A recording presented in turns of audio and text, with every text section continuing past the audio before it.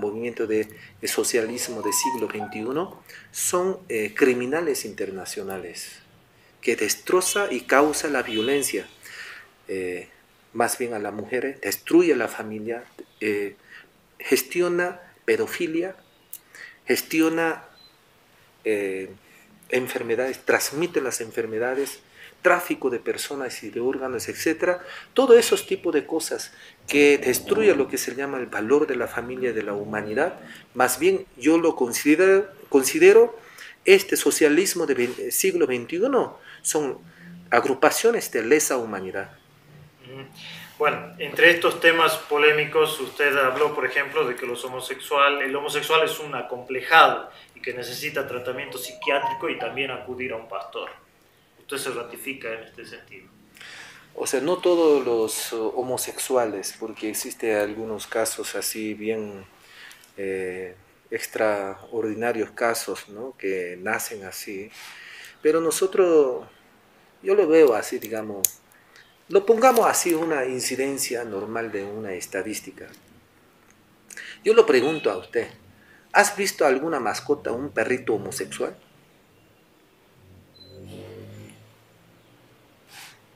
Usted en tu vida has visto, yo en mi vida lo he visto. O sea, que usted haya visto un perrito homosexual, un toro homosexual has visto, un caballo homosexual has visto. O sea, la naturaleza nos ha declarado una clara diferencia entre, entre los mamíferos, lo que es macho y hembra. Entonces, el ser humano no somos diferentes, hablando biológicamente. Sea, no estamos hablando de raciocinio de la espiritualidad, sino biológicamente somos tan similar a cualquiera de los mamíferos que nosotros vivimos. No he visto un caballo homosexual, ni, ni, ni, burro, ni, ni perritos, en fin. Entonces, de que un ser humano biológicamente alguien nazca intermedio, tendría que ser una patología misma. Eso se llama malformación congénita. Entonces, eso entra dentro de la categoría... Un homosexual es una persona que tiene malformación congénita. ¿Existe malformación congénita de los genitales? Puede haber. Criptorquídea se llama que cuando el testículo no baja hacia el conducto descendente, deferente, y cuando no baja hacia abajo, o sea, conducto eh, eh, donde, donde el infundiblo Ah, deferente, se llama eso. Entonces, cuando no, no cae el bolsa del escroto, entonces el testículo se queda ahí, en, el, en la cintura. Entonces, eso tiene que tener un, un, nivel de enfriamiento, o sea, tiene que tener menos un grado de la temperatura normal del cuerpo. Y cuando eso se queda aquí, en la cintura, entonces se van muriendo los espermatozoides y va disminuyendo lo que significa la formación de testosteronas, y cual eh, la persona se queda en un sexo intermedio entonces, en ese caso, o que tuviera X tipo de tumor, la glándula suprarrenal, digamos en caso de las mujeres, que empieza a producir más cantidad de eh, hormonas masculinas o tendencia a hormona masculina, empieza a salir los vellos, y que la persona, digamos que desde niños, infancia, se haya tenido un comportamiento que forzosamente tuvo que adoptar o sea, por las condiciones de vida, digamos, que haya tenido, entonces, ello podríamos considerar así, digamos, y entonces, sí, de esa manera, digamos... Esa sería una explicación biológica. Biológica, médica, médica. Médica de la Puede haber casos así, de millón uno, pero ya, sí, así yo quiero que viva feliz, entonces, pero que rinda cuenta ante Dios él, mejor si vive solo. La Biblia dice, recomienda, mejor si vive solo, en vez de estar ahí viviendo y entrando en un estrés de que es hombre o mujer, digamos, pero ya es una cosa aparte. Pero otra cosa es por ideología, teniendo la mente hombre, cuerpo hombre y por vicio de sexo. Vicio de sexo quiera declarar un estado intermedio, que en realidad no existe gen homosexual. No existe gen. Es macho hembra, digamos. Entonces, si no habiendo eso y que por vicio y que por vicio de sexo quiera promover eso como si fuera algo legal, entonces eso se llama promiscuidad total, digo, perversidad. ¿Ya? Entonces eso la Biblia menciona eso como pecado. En ese sentido usted ha planteado que las leyes no deben tener ningún privilegio para, para los géneros, ¿verdad? Para ninguno de los géneros. Ese es su planteamiento.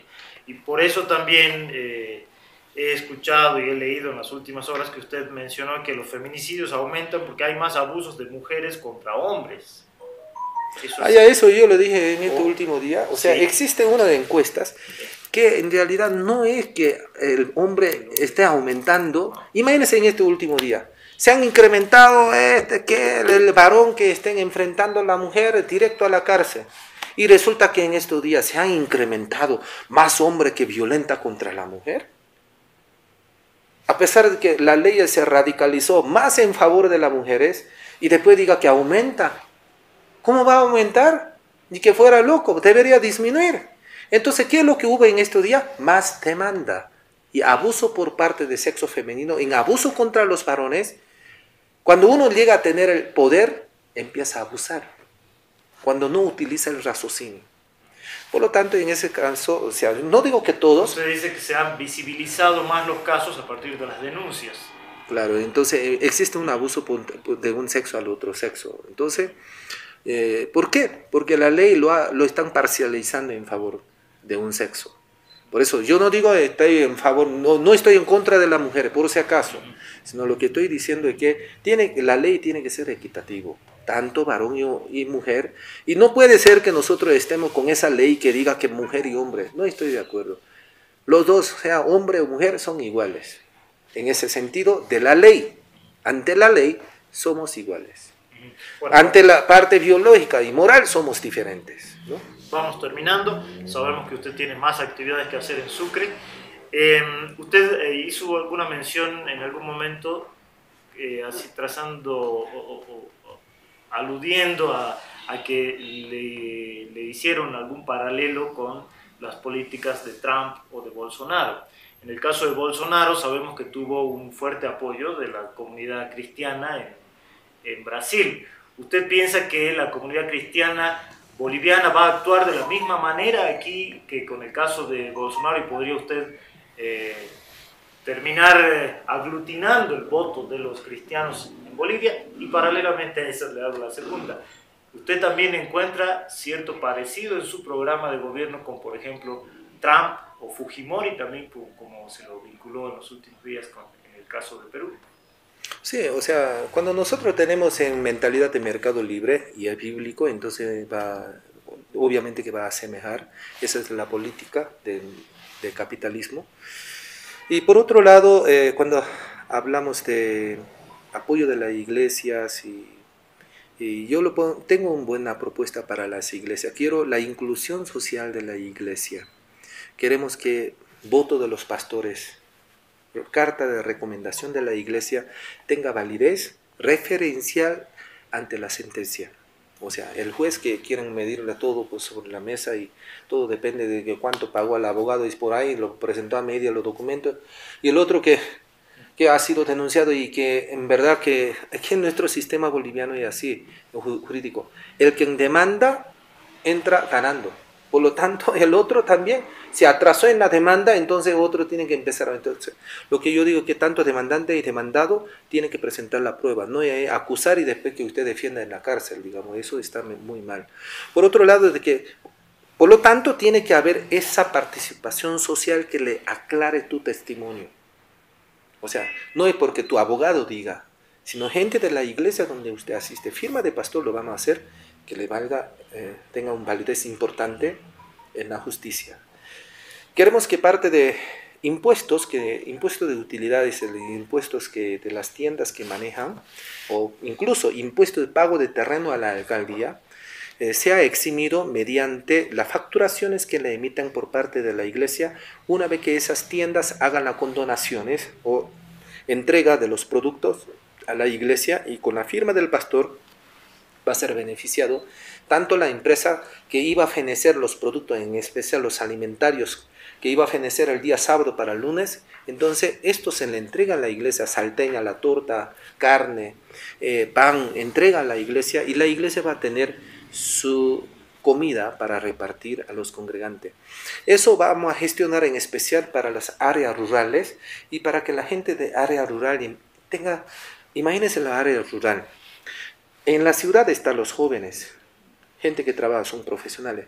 En área rural está puro, en general, niños y hasta los ancianitos cuidando a los niños. ¿Y ellos de qué vive? De la limosna que envía a sus hijos.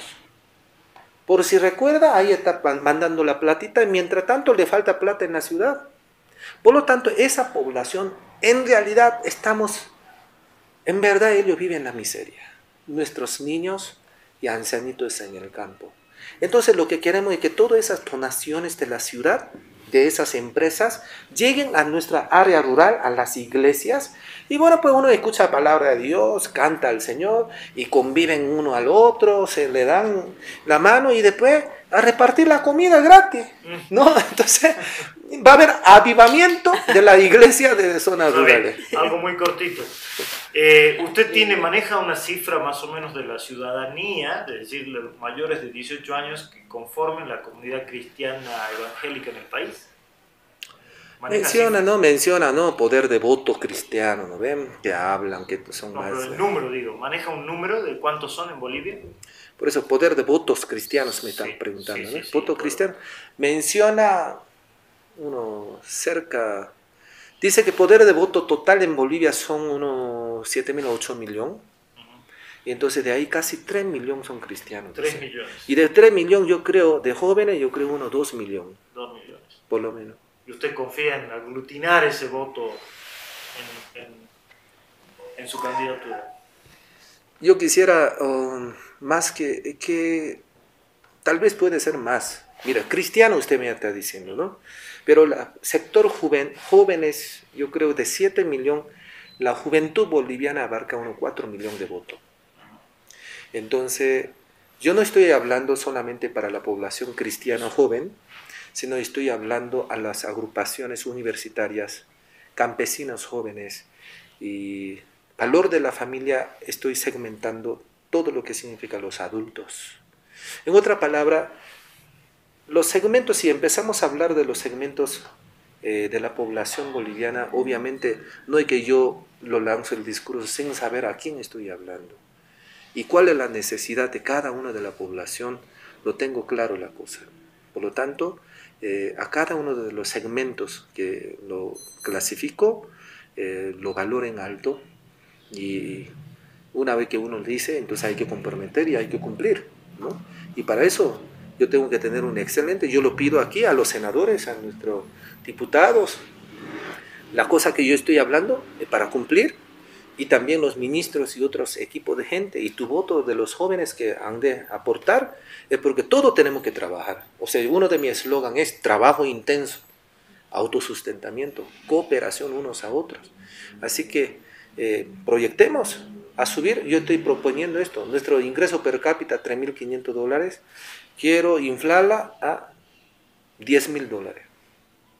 Entonces ya más o menos podemos vivir, ¿no? O sea, eso, eso llamaríamos un país en desarrollo eh, aceptable, digamos, ¿no? Entonces que cada uno tendrá su casita, su automóvil, su tienditas o su fábrica, mini fábrica. Yo quiero que empiece a activar las circulantes. Y yo digo esto, no vamos a estar haciendo más pozo petrolero, que puro blanco, blanco, blanco puro yacimiento en blanco. No, no, no, que cinco años le tiró blanco, dice. No podemos blanqueado todo el yacimiento. No, no, no. Si ahora ya ese fondo que, que vamos a tener, ese fondo lo vamos a gestionar para insertar cooperativas, fomento a los em, microempresarios, el gobierno lo va a ayudar a insertar toda la empresa y la gente, una vez que aprende todo, y lo vamos a dejar en leasing. ¿Qué es leasing? O sea que uno con lo que, con lo que uno se gana se va devolviendo al gobierno eh, lo que lo han, eh, eh, lo han tenido de adquisición de préstamo por parte del gobierno. Bueno, doctor, muchísimas gracias. Terminamos la entrevista. Muchas gracias.